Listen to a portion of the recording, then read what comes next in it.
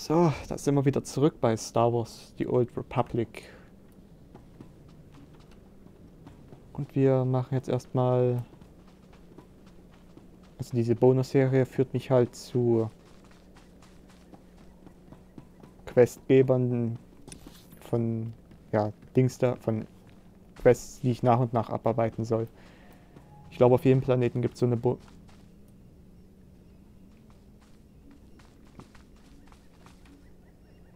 Bonus-Serie.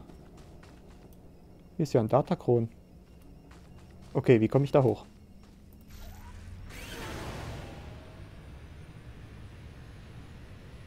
Am besten über diesen Balken hier. Das ist doch da hinten vielleicht?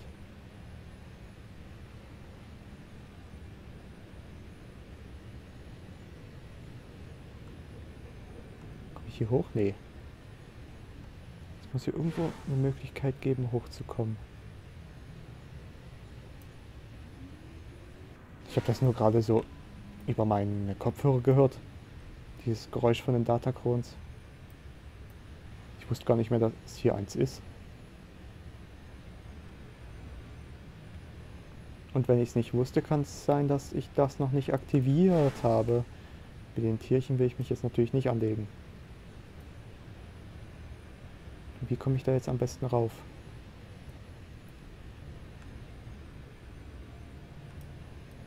Vielleicht hier über das Rohr? Sieht schon so aus.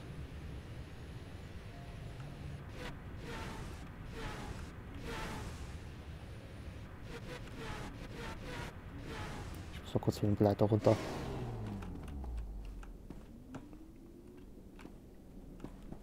Nee, ich glaube, da komme ich nicht hin. Über die Rohre hier vermutlich auch nicht.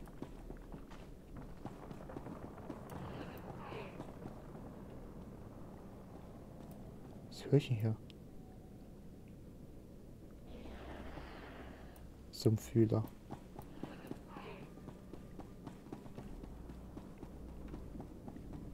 Irgendwo muss es eine Verbindung geben, mit der man darauf kommt.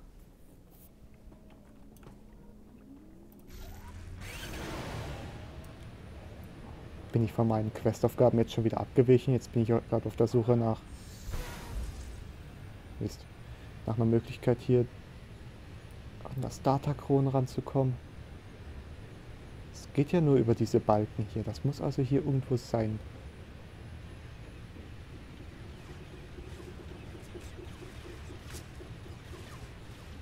Das sieht vielleicht nach einer Möglichkeit hier aus. Das heißt, ich muss irgendwo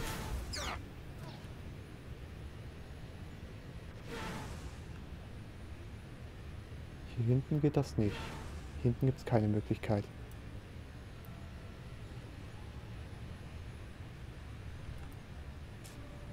Obwohl.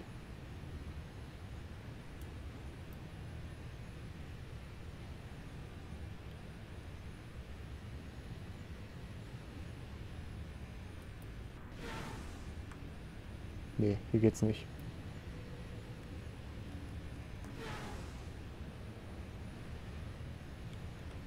Schaue ich mir das mal auf der anderen Seite an.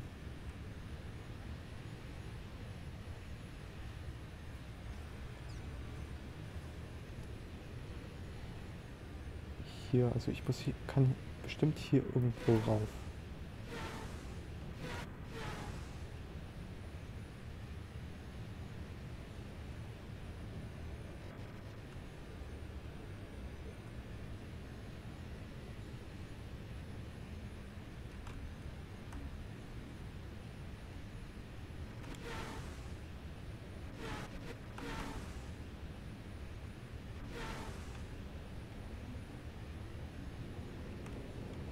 Hm. Ja gut. Dann lasse ich es erstmal.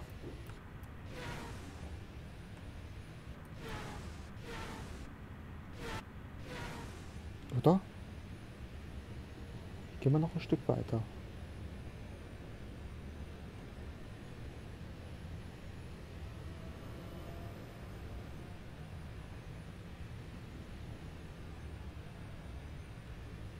Von hier hinten anscheinend.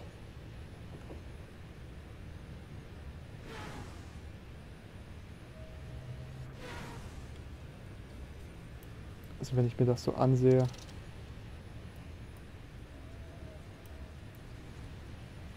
Hier über das Rohr. Ich glaube, ich habe es gefunden.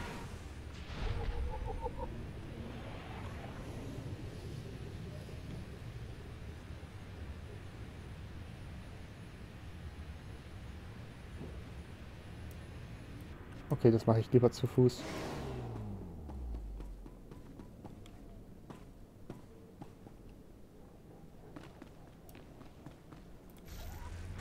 Komme ich dem Rätsel schon näher. Die Wege muss man aber auch erstmal kennen.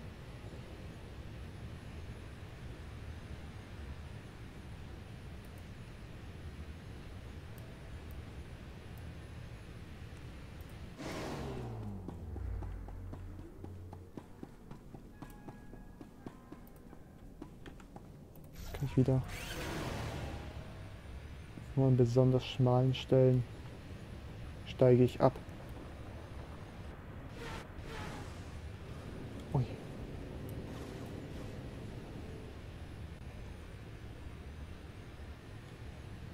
Oder an Stellen, wo es mir ein bisschen... Wenn ich hier runter glitsche, dann muss ich den ganzen Weg nochmal laufen.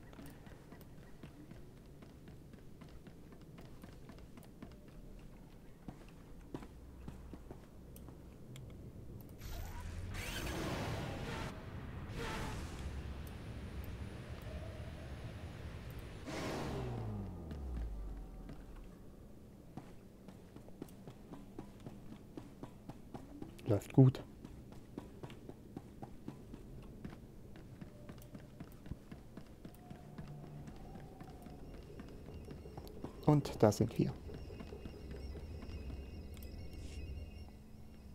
Das hatte ich sogar noch gar nicht. Beherrschungsattribut kann ich damit verbessern.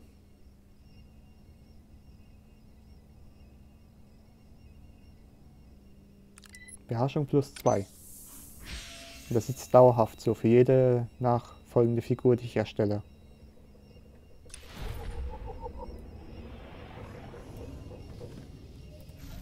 Glaube ich jedenfalls. Ich meine, man hat es ja gesehen, das eine Datacron, was ich hier in diesem, in diesem Tunnel und was da noch dahinter war, gefunden hatte, das war ja schon bereits aktiviert.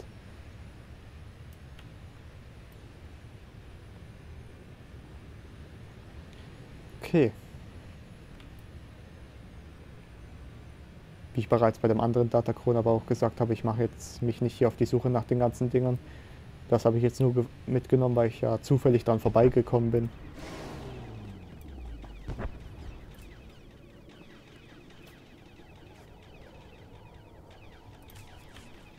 Das ist kein Putzverhalten. Das ist ganz klarer Einsatz von Werkzeug.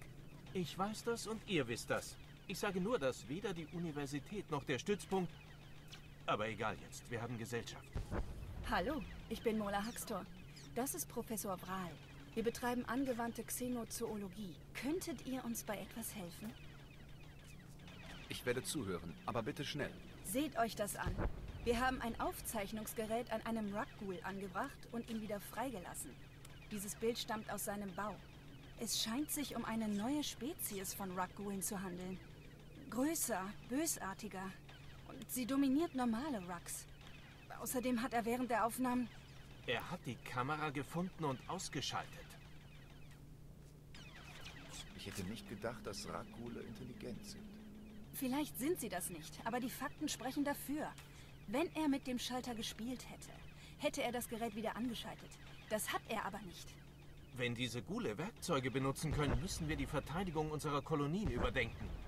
Wir brauchen aber die Aufzeichnungen aus unserem Gerät, um sicher zu sein. Ganz abgesehen vom akademischen Ansehen, das wir ernten würden, muss die Republik erfahren, wie gefährlich diese neue Spezies ist. Organisierte Gule sind das Letzte, was wir brauchen. Ich besorge euch eure Kamera.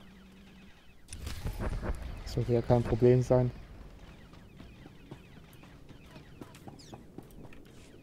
Wie viele Zähne sagtest du haben diese Dinger? Über 3000? Ich glaube, ich kann jeden einzelnen spüren. Hör auf, dich zu beklagen. Sie hat dich nur leicht gestreift. Das verhilft uns zu neuen Erkenntnissen im Bereich des Wandels des mütterlichen Nexu-Verhaltens bei ihr.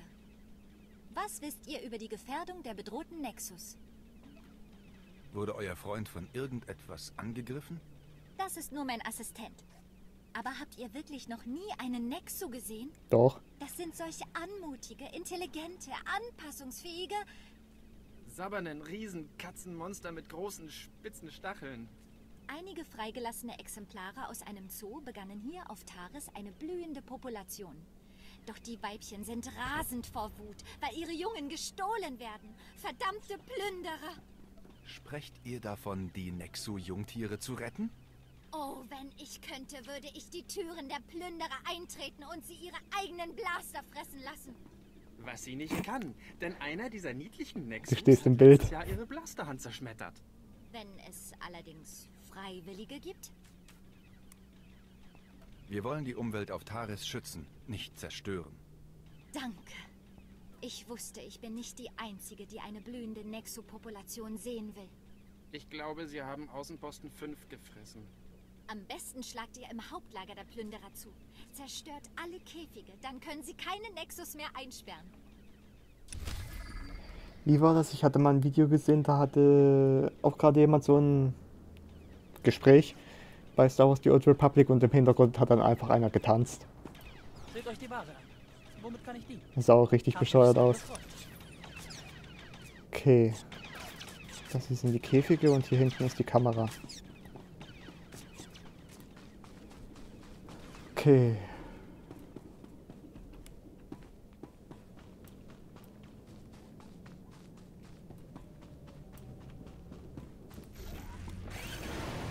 Sollen irgendwo Käfige sein, aber bisher sehe ich noch, da ist einer.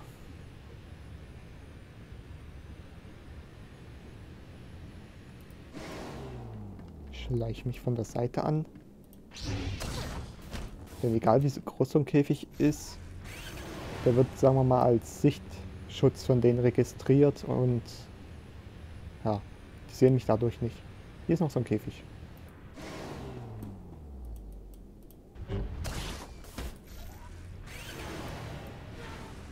Da habe ich gerade noch einen gesehen. Hier war keiner. Hier ist noch einer und dann war's das.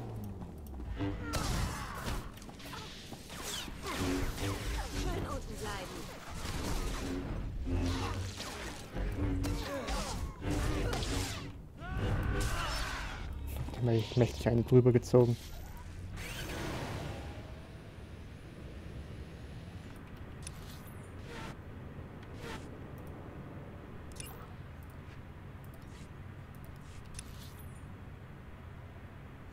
Hier hinten hin. Hier gab es ja jetzt nicht mehr. Bis die sich wieder zurück, also zurückgesetzt haben, kann ich auch da hinten welche machen. Na komm.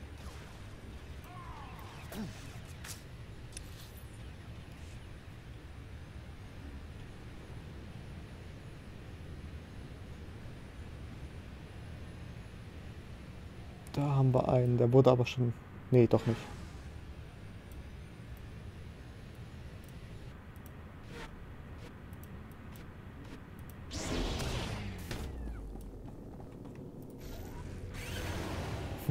Der steht daneben und guckt nur zu.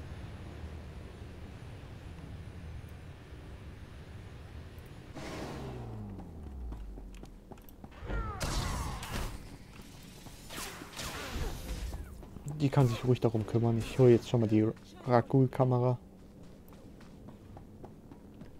Kann ich hier hoch? Ja.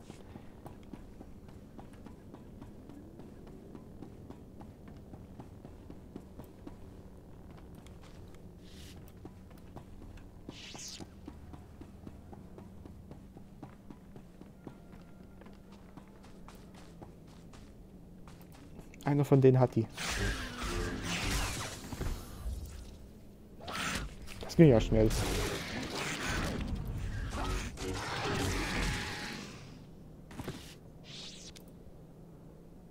Ausgerechnet, die haben keinen Schnellreisepunkt.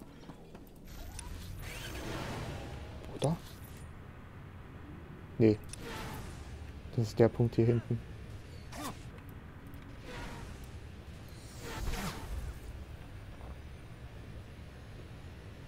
Ich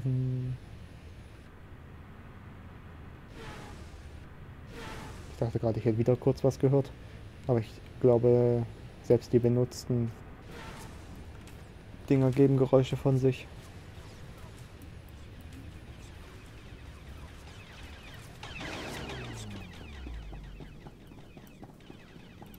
Seht euch die Ware an. Womit kann ich dienen? Hat mich sehr gefreut. Gar nichts eingesammelt? Hm, na gut. Und? Habt ihr es getan? Habt ihr euch für die Nexus eingesetzt? Ja, ich, Komischerweise einfacher, als sich gegen die Nexus einzusetzen. Sagt mir, wie es gelaufen ist.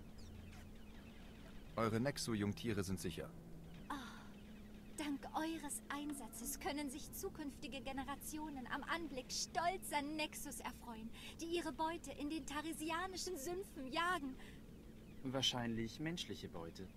Jetzt sollte es bedeutend weniger Nexu-Angriffe geben, da sie ihre Jungen nicht mehr beschützen müssen. Habt Dank. Werden wir unsere Pläne jetzt ändern, was die Rettung des seltenen tarisianischen Borkenkäfers angeht?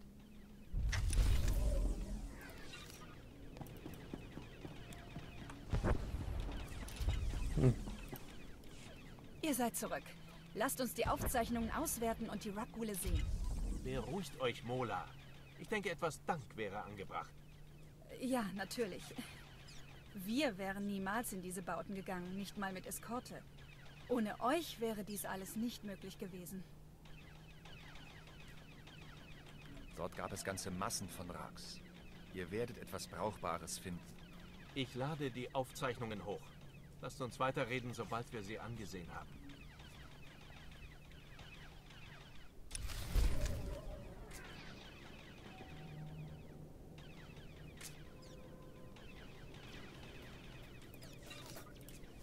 Der Unterschlupf der neuen Spezies sieht aus wie ein altes Kraftwerk.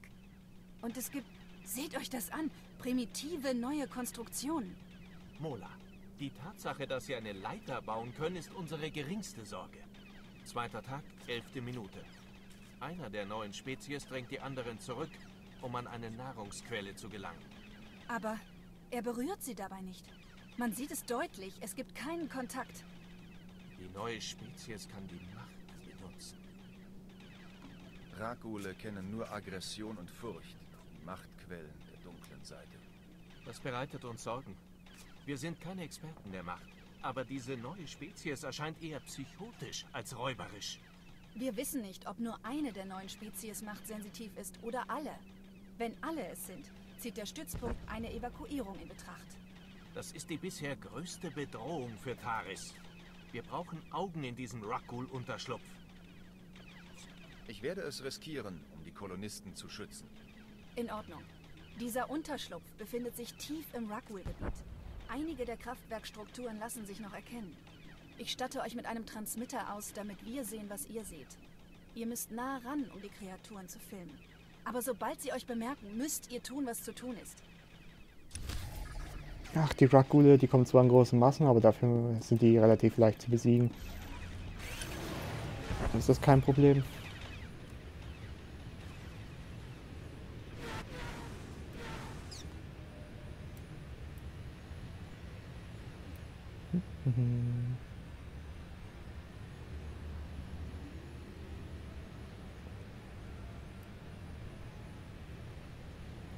Problem ist erstmal das Kraftwerk reinzukommen. Ohne dass die mich jetzt wirklich entdecken.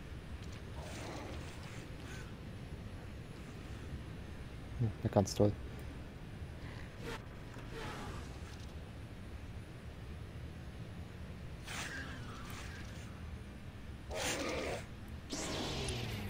Falsche Richtung.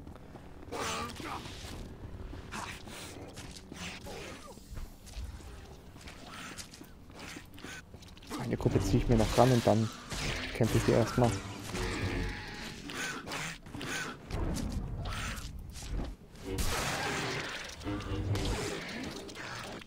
Das war ja einfach.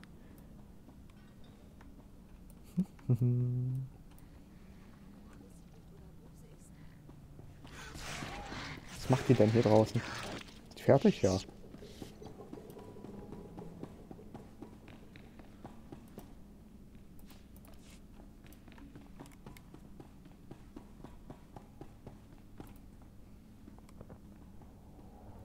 Nun gut, damit beende ich jetzt erstmal wieder die Folge. Und wir sehen uns dann, ich glaube, morgen wieder. Ja gut, also wir sehen uns dann in der nächsten Folge wieder. Bis dahin, tschüss.